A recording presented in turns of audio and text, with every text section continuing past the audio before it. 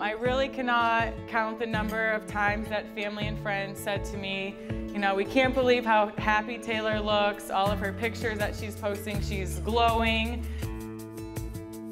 And of course, moving to a warm, sunny place had a lot to do with that happiness, but our family all knew that the reason Taylor was so happy was because of Mike. She had found her person, her soulmate in sunny South Carolina. Michael, my best friend, my husband from this day forward.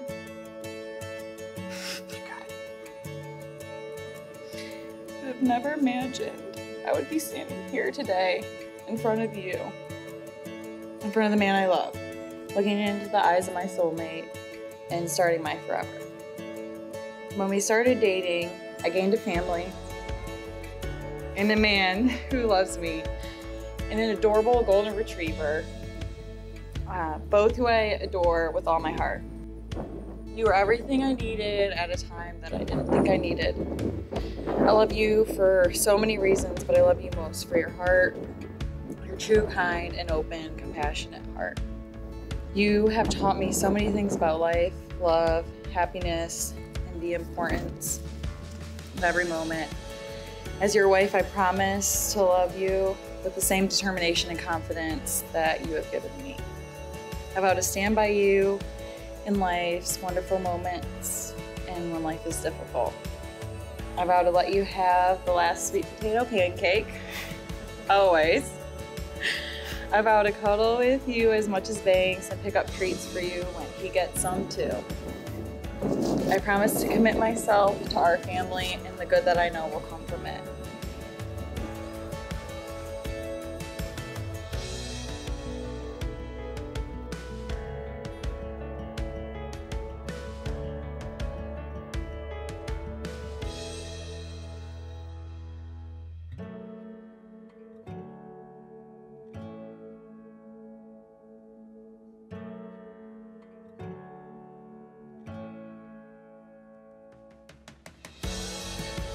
But most of all, I promise to be your true companion always.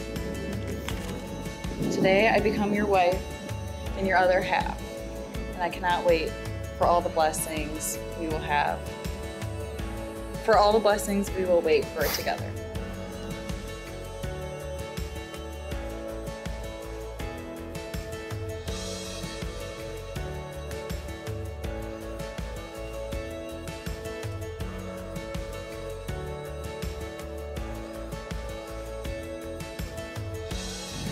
Taylor, who would have ever thought a polite gesture by myself of asking, hey, would anyone like to try uh, some of my sweet potato pancakes would not only lead to me losing a delicious bite of my breakfast, but quicker before I could uh, finish the question, but also me finding the girl in my dreams.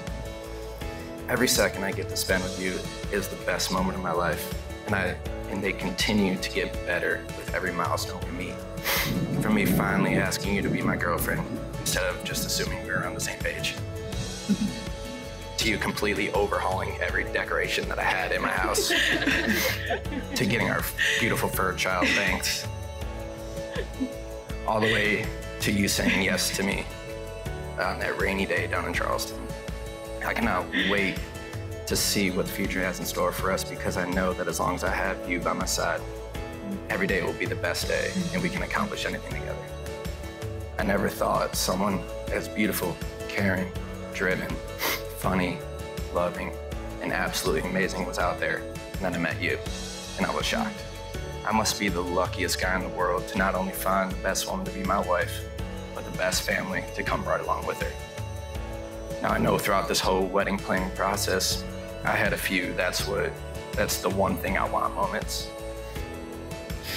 Such as a king chair at the head table, a bouncy house, that sweet pirate ship out there, and a few other things that didn't quite make the cut.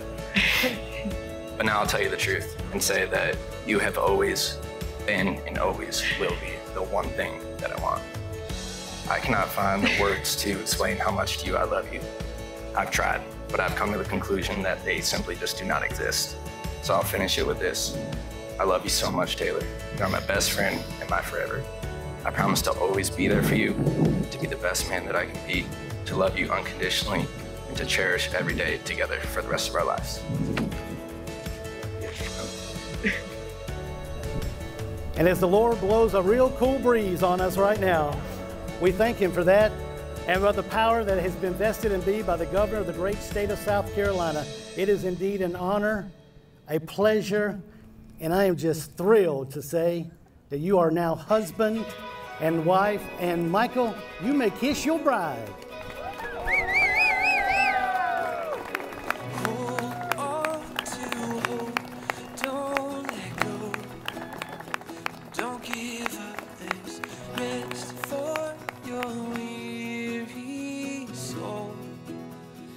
Time to heal, yet still you fight what you're told.